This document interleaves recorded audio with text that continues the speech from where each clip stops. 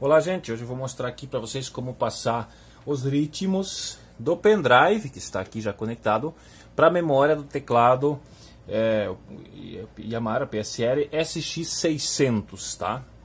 Uh, então, ele muda um pouquinho do 670, né? Ele muda o, o 670 tinha um botãozinho lá que estava escrito USB e esse aqui não tem, então ele muda um pouco. É, então, pendrive já está conectado, os ritmos estão aqui você vai apertar esse botãozinho aqui, ó, expansão, que é aqui onde que vai ficar armazenado os, os ritmos, né? É, aqui ele não tem nada, tá apagado, então aqui do lado tem uma escrito USB, então você vem por essa flechinha aqui, no USB, aqui, USB, tá? Aqui eu tenho várias pastas dos meus ritmos que a gente vende e tal, né? Mas enfim, é, aqui tem o P1, P2, né? Provavelmente se você tiver só uma pasta, vai estar tá só uma pasta ali, né? Eu vou escolher aqui porque eu estou trabalhando aqui, instalando para um cliente aqui. Então já, já vou procurar qual que é a pasta aqui. Aqui, ritmo de bailão. Aí eu que tenho ela na versão sampleada e simples, né? Então vou colocar ela sampleada, né? Mas no teu caso, você vai abrir, já vai estar ali, né?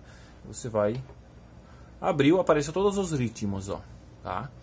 Então, é, se eu quiser passar um por vez, eu vou só apertar o Enter aqui, selecionar aquele que eu quero, ó, esse ficou branco. Se eu quiser outro, eu venho aqui, é, eu escolho aqui, tá? Mas como eu quero passar todos eles, então eu vou vir aqui é, no menu 2, né? Clicando aqui, você vai para o menu. Ó, aqui tem a parte de nome, de copiado, delete, salve. Então eu vou aqui em cópia.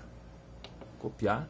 Se eu quiser copiar um só, daí eu venho aqui, eu desço, eu vou selecionando assim, ó desço aqui, ó, vou indo aqui, ó, quero esse aqui, desço só, posso selecionar só os que eu quero, ó, tá? Mas se eu quero, como eu quero, nesse caso eu quero passar todos de uma vez, então vem aqui no AL, AL quer dizer todos, ó, fica tudo branco, seleciono tudo.